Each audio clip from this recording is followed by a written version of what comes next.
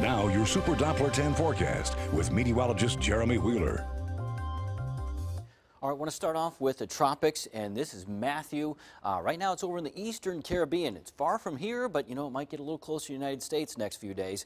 Uh, here's the Lesser Antilles. It's bypassed that area, and then now it is south of Puerto Rico.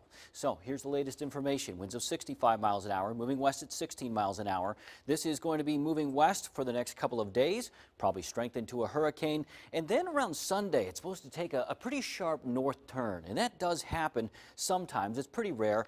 Uh, we'll see if it actually makes it almost a 90 degree angle. But either way, towards early next week, it's going to run either towards Jamaica, uh, western Haiti, or Cuba, most likely eastern Cuba as a Category 1 hurricane. Now, it'll cross land and most likely weaken a little bit, but it may make it out the other side intact and move towards the Bahamas. Once it does that, it's expected to move northward, at least uh, generally. And the latest computer models again, have it crossing Cuba. Some of them take it into the Bahamas, and a couple of them do take it pretty close to the coast of the United States. So again, it bears watching next few days. This will be in the Wednesday morning at the latest, and so at this point, so we're going to watch it, and we'll have plenty of updates on this next few days. So plenty of time to watch for those updates. Now, here is what's going on close to home. We've got a stationary front. That's been here for a couple days. It's caused some of our problems. We have a cold front off to the west and area, low pressure. These two are kind of merging today together, and that is going to create a chance for rain once again.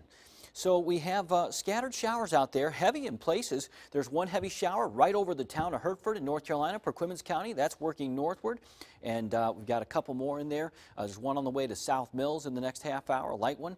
But we have heavy rain in Chesapeake. This is just south of Grassfield, getting into Grassfield, and that's moving north. It's going to cross Interstate 64 and cause some problems in there, just west of Essex Meadows, into the South Norfolk area, and also into Portsmouth on the eastern edge. Downtown, going to see some uh, moderate showers. And some of that's getting into the uh, Norfolk area now, too, right over the Norfolk Naval Base. ODU seeing some of that rain, and it's moving north up to the peninsula, right around Fort Monroe. Now, we have a few more showers. Mobjack Bay into Mathews County, also very heavy here, just east of Amberg. That's moving off to the uh, north and east. Lighter rain down to Mathews and Beaverlett down to Mobjack itself. Light rain on the northern neck and the eastern shore's quiet, but you've had some rain on and off around Chincoteague. So scattered showers continue this morning up through the midday hours, and we'll get some more scattered showers in here this afternoon. Our model's backed off a little bit, but I'm still calling for at least uh, scattered uh, showers and a few thunderstorms in through 3 and 5 o'clock. We keep going through time overnight. There'll be a few showers here Here's 7 a.m. tomorrow morning, isolated showers. And then, uh, you know, th through the day tomorrow, I'm not expecting all that much rain. Still some scattered showers, but hopefully the rain chances decrease. But some of our uh, areas west and north of Hampton Roads, you could see some higher amounts of rain, some very heavy rain, and it could add up. That's why there's that flash flood watch in effect for the northern neck in Middlesex County. I think the amounts will add up here in Saluda. Uh, you can see kind of on the edge of that rain. So stay tuned for updates. Now, the rain chances do decrease each day going into Saturday. Sunday, only a slight chance for a shower, and I'm hoping I could drop that chance on Saturday, but right now a 30% chance. Temperatures at the moment, they're in the upper 60s to around 70. We got lots of clouds and a few showers. And scattered showers continue today with an easterly wind at 10 miles an hour. Highs will be generally near 80 degrees for just about everybody.